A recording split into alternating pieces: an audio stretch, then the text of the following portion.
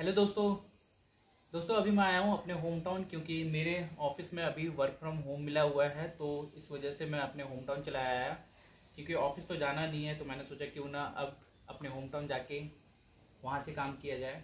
और आप देख सकते हैं कि होम टाउन में आके किस तरीके का सेटअप अभी बनाया हुआ है मैंने। यहाँ पे मस्त आप बाहर नेचर में बैठ के काम कर सकते हैं। अमरूद का पेड़ है। ये मैंने खाट जो अपने घर पे था, ये खाट यहाँ पे लगा रखा है। खाट पे मस्त बैठ के ऑफ़िस का काम करने का अलग ही मज़ा है। तो कमेंट करके बताइए, आपके ऑफ़िस में अभी क्या चल रहा है? वर्क फ्रॉम होम चल रहा है या ऑफ़िस जाना पड़ रहा है? और वर्क फ्रॉम होम चल रहा है तो कितने दिन आपको ऑफ़िस जाना है या फिर हाइब्रिड क्या है? तो ये देख सकते हैं, ये है मेरा गाँव, जहाँ अभी झारखंड, हजारीबाग और यहीं से अभी मैं अपना ऑफ़िस का काम है, वो कर रहा हूँ। ये मैंने शरीफा का पेड़ लगा रखा है और ये है अमरूद। इस तरह बाहर बैठ के काम करने का एक और अलग ही मज़ा है। जब आपको कुछ खाने का मन करे तो आप यूँ पेड़ में से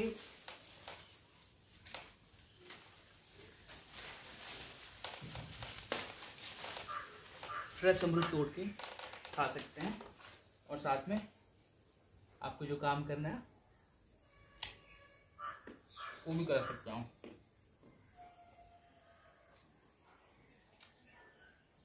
तो दोस्तों, अब मैं आपको अपना होम टाउन दिखा देता हूँ कि किस तरीके का यहाँ का एरिया है नेचर कैसा है।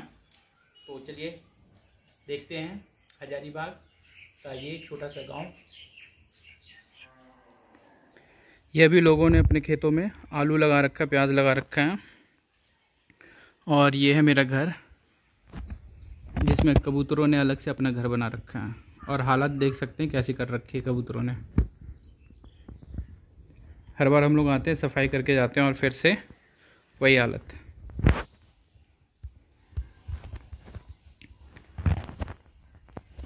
यहाँ हमने साथ में कुछ, दो अमरुद के पेड़, फूल, आम का पेड़ और ये छोटे मोटे चीज़ें लगा रखी है।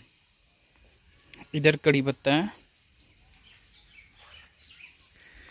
और ये मेरे घर के पीछे का नज़ारा है। इसमें भी लोगों ने खेती कर रखी है। ये लोगों ने सरसों बो रखा है और उसके बाद आप देख सकते हैं, ये सेंट्रल जेल।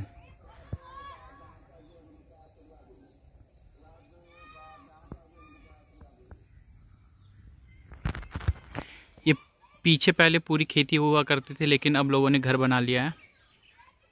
तो इस तरीके से मैं अपने होम टाउन में अभी आके खाट वाट लगा के पेड़ के नीचे बैठ के काम कर रहा हूँ वर्क फ्रॉम होम का एंजॉय कर रहा हूँ। तो आप लोग बताइए, आप लोग किस तरीके से अभी ऑफ़िस में काम कर रहे हैं? और अगर आपको ये वीडियो पसंद आई तो प्लीज़ वीडियो को लाइक कीजिए चैनल को सब्सक्राइब कीजिए। तो मिलते हैं एक नई वीडियो में। तब तक के लिए take care bye bye thanks for watching